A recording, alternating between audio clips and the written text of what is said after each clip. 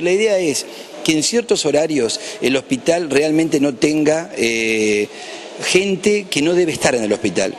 Nadie pretende, y como decimos lo siguiente, nadie pretende que el hospital se cierre. Nosotros no queremos cerrar el hospital, pero sí lo que pretendemos es que la gente entienda que va a redundar en una mejor calidad de atención a sus familiares queridos. Así que, por ejemplo, hay horarios en que hay gente circulando por el hospital que no debería estarlo, salvo aquella persona que tiene una autorización para estar con su familiar.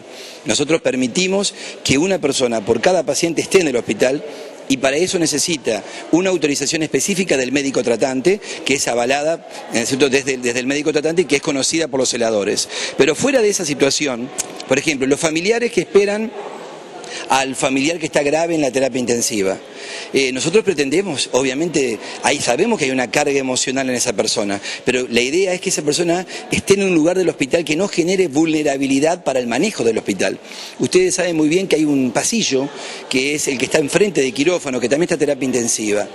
Pero ese pasillo es de tránsito de pacientes. Es decir, si yo traigo gente de la guardia a la terapia en forma urgente o al quirófano, hay mucha gente en el pasillo y por ahí eso dificulta el tránsito de los pacientes.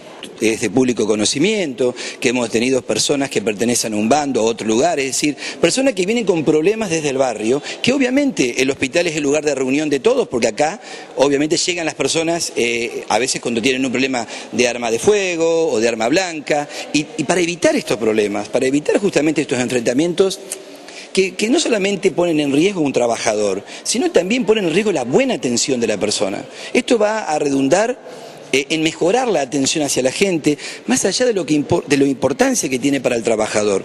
Es justo es muy justo que un trabajador del Hospital San Martín quiera sentirse seguro. Cualquier trabajador debe sentirse seguro. Eh, doctor, se realizó una denuncia en una publicación que hablaba de que circulaba droga en los pasillos. ¿Qué nos puede decir usted con respecto a esto?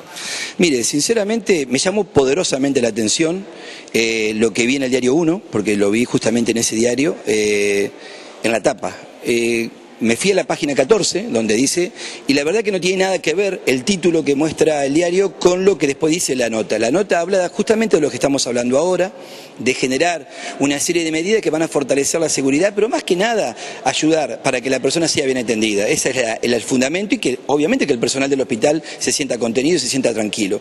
Pero no tengo ninguna denuncia policial ni tampoco hemos tenido allanamientos acá de la policía o intervenciones policíacas en mi dirección en donde vengan a decirnos, mire, tal, en tal lugar están vendiendo drogas. Entonces yo creo que este tipo de acusaciones o este tipo de denuncias deberían dirigirse a la justicia, en donde la justicia puede actuar.